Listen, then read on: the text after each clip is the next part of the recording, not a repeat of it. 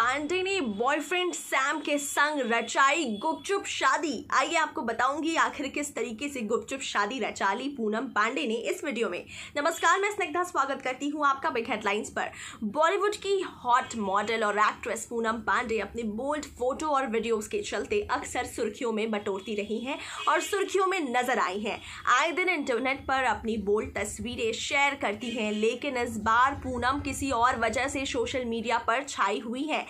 दरअसल आपको बता दें कि पूनम पांडे ने अपने long time boyfriend Sam Bombay के साथ गुपचुप शादी रचा ली है, जिसके चलते पूनम सुर्खियाँ बटोर रही हैं और इस शादी को उन्होंने बहुत ही गुपचुप तरीके से कर लिया, क्योंकि किसी को कानो कान खबर नहीं थी और अचानक से सोशल मीडिया पर उनकी तस्वीरें शेयर होने के बाद लोगों को यह पता चला कि Poonam Pandey is finally married इस कपल ने अपने इंस्टाग्राम पर शादी की कुछ तस्वीरें शेयर की है। तस्वीर में पूनम ब्राइडल लुक में दिख रही है। शादी की तस्वीर को शेयर करते हुए उन्होंने काफ़ी चीज़ें लिखी है। पूनम ने इंस्टाग्राम पर एक कैप्शन भी लिखा है। पूनम ने लिखा है, अगले सात जन्म भी तुम्हारे साथ बिताना चाहती हूँ। पूनम ने तस्वीर शेयर करते हुए सैम ने उस पर झट से कमेंट भी कर दिया। सैम ने लिखा है, बेशक मिसेस बॉम्बे तो इस तरीके से दोनों ने एक दूसरे से शादी की और दोनों एक दूसरे के हो गए हैं और साथ ही साथ इंस्टाग्राम पर फ़ोटो शेयर कर यह खबर सभी को दे दी है। वहीं सैम ने भी पूनम के साथ एक तस्वीर शेयर की है। तस्वीर देखकर लग रहा है कि ये मेहंदी सेरेमनी की है।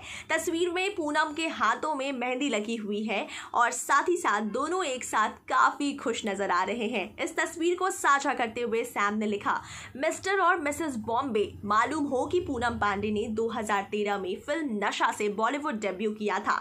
इसमें उन्होंने एक टीचर का किरदार निभाया, जो अपने ही स्टूडेंट को दिल दे बैठती हैं। उन्होंने हिंदी के अलावा तेलुगु और कन्नड़ फ़िल्मों में भी काम किया है। पूनम पांडे ने गोविंदा की फ़िल्म आ गया हीरो के एक गाने में भी स्पेशल अपियरेंस दिया था।